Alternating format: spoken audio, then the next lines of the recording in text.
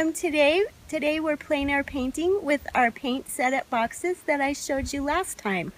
And we're here up near Estes Park, and it's about 4 o'clock in the afternoon or so, and I'm here with my friend Annette, and we're just painting this little path right here up the mountain. And right now I'm blocking in my colors, so I'll check back with you when my painting's a little farther along, okay? We'll see you later. Bye.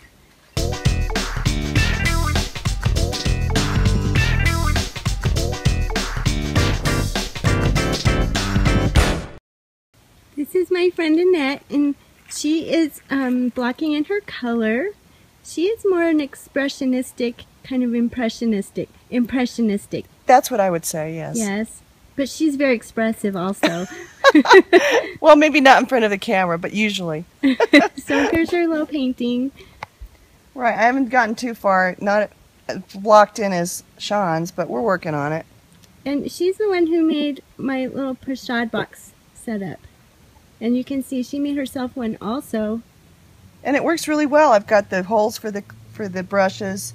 My palette fits nicely in there. i am right in here, and then I've got a mixing area right here if I want. Got this clipped. I've got my my uh, paint cleaner down here. So this is like the perfect setup for painting. So how much do you think this cost you? Well, this was actually pretty cheap. The cigar box was two bucks each, so that's four dollars and then the few little things that I bought for it, maybe five to six dollars total. Wow! And usually, if you wanted to buy one, they would be about fifty to sixty dollars. So I think I got a good deal. So, do you recommend this for someone to to maybe make their own before they go spend money on an expensive one? Absolutely, and it doesn't take much. I mean, I don't have really that great of skills. If you have a drill, you can drill the drill. But uh, we just use binder clips to hold it. We took the box apart, drilled the holes, and these hold really well. It holds the the, the two side elements to it. And I just clipped a paper towel to the front. People actually use rolls, but this is plenty for me. I don't need a lot, so it works really well. And then I've got this, uh, I had a hook on the bottom, so that's where I put my water and my, you can actually hang it off this if you wanted. I do have a clip for that, but I find it's kind of handy to have it down there, so it works really well. How is your box attached to the tripod? I have a tripod mount, but I just spent, I just bought a, it's like a little screw that you just screw right in, it's a quarter inch, and um, I just put my tripod mount on it and then put it back on. So cool. you know you don't have to.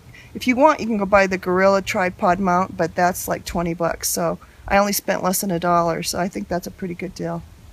Awesome.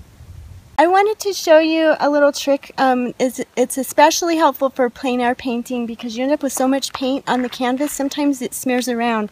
And I'm going to put, be putting some grayish white aspens in here. So this is my um, paint removal tool. And so what you do is you just, it's rubber and you just kind of pull it along and you remove the paint where you don't want it to be. And this one's pretty thick, but I'm just going to scrape some paint off so that I can put um, my aspens that are in the foreground here so I can put them in and you're able to see them.